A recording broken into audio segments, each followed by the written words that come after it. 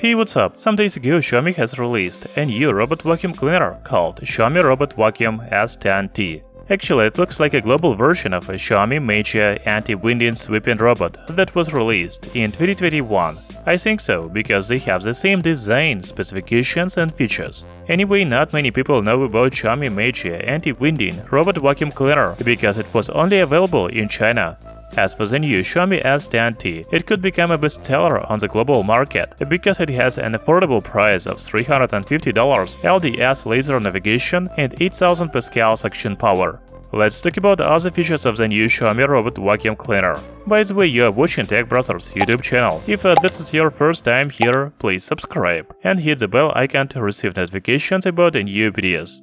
You know, the new Xiaomi Robot Vacuum S10T looks similar to other robot vacuum cleaners on the market. It seems that black is the only color available for this model. The new robot vacuum cleaner has LDS laser navigation, so there is a tower at the top. The maximum height of the robot is 102 mm. You know, it is not very slim, so it will not be able to get under the furniture everywhere. There is 450 ml dustbin on the back. You can also attach 250 ml water tank to the bottom of the robot vacuum cleaner. Xiaomi Robot Vacuum S10T has only one side brush and main brush at the bottom.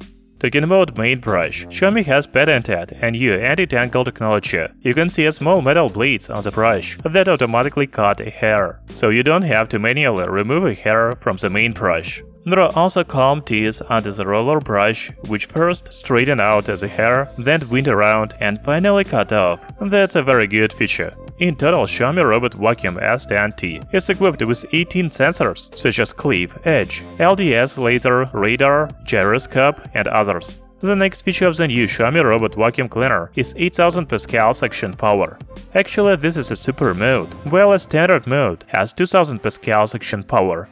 You can also use a turbo mode for everyday cleaning with a 4000 Pascal suction power. As already said, the robot vacuum cleaner has LDS laser navigation for the quick and accurate mapping, and it uses a SLAM algorithm for planning the most efficient cleaning route. You can control the cleaning process through the app on smartphone, as well as choose the room for cleaning, set no-go zone, and other useful functions. Finally, the battery of Xiaomi Robot Vacuum S10T has a capacity of 5200 mAh.